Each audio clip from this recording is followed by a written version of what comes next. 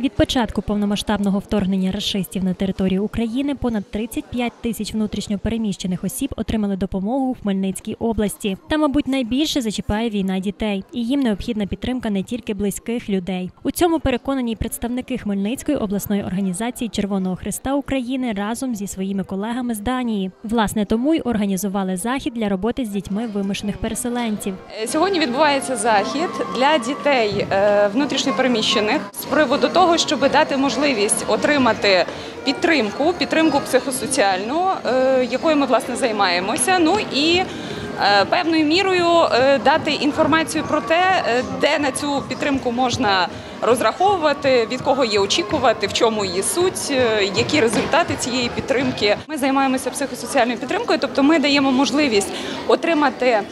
Е, Допомогу в адаптації дітей і внутрішньопереміщених осіб різного віку, в принципі, але не дітей ми робимо акцент до тих реалій, в яких вони опинилися, е, бути більш адаптованими до соціуму е, на тих територіях, на які вони внутрішньо переміщені, дати можливість дітям повернути собі дитинство, дати можливість повернути собі м'язеву активність, відчуття отого такого спокою, вміння зарадити собі, тому що це направда досить важливо. На захід запросили дітей-переселенців молодшої школи. Для малечі організували перегляд цікавої вистави, заняття із психосоціальної підтримки та майстер-клас із надання першої допомоги, накладання лейкопластрів, зупинка кровотечі та вміння фіксувати кінцівку при забої. Цьому й не тільки навчили маленьких українців. Зокрема, тренерка зауважує, що ці вміння є дуже важливими, особливо під час війни. Важливо це для, для того, щоб діти вміли ем, надавати першу допомогу як собі, дорослим, вміли викликати швидку допомогу і взагалі не боялися надавати першу допомогу і звертатися за допомогою, коли це потрібно.